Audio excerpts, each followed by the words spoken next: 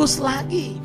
Tegang, mengerikan, menakutkan. Ah, apa artinya aku diterima di perguruan tinggi tapi tak lulus, tak memiliki ijazah SMA, padahal dianggap berprestasi sampai diterima di perguruan tinggi.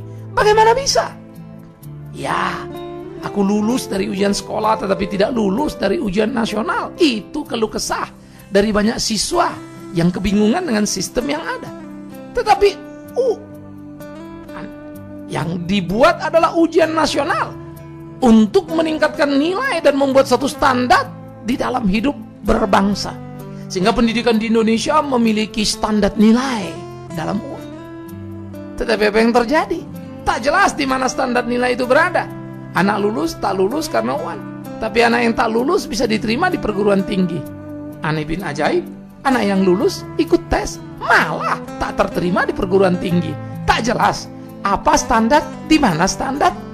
Karena yang ada kebingungan dan kebingungan.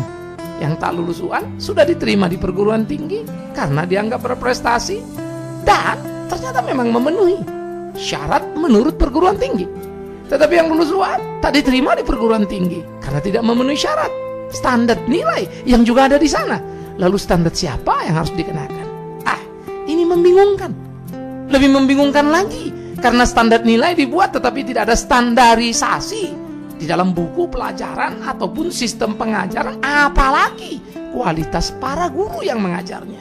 Ah, ini lucu sekali ketika kita mau sebuah standar nilai atas hasil karya anak tapi tidak mempunyai standar dalam mensuplai ajaran kepada anak, tak mempunyai standar yang sama dalam memfasilitasi anak ketika mereka belajar.